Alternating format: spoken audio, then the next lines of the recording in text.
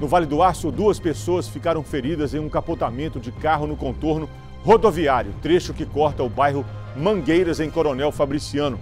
O condutor do veículo informou que o carro ficou sem freios quando ele descia pela rua José Firmino da Silva. A Gisele Ferreira tem os detalhes.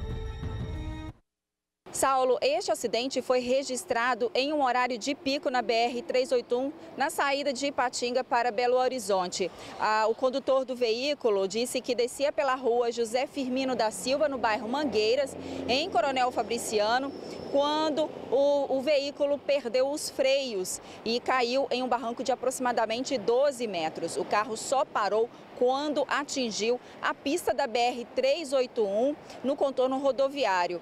É, como eu já falei, né, era um momento é, que havia muitos carros na rodovia. Felizmente, nenhum outro veículo se envolveu neste acidente.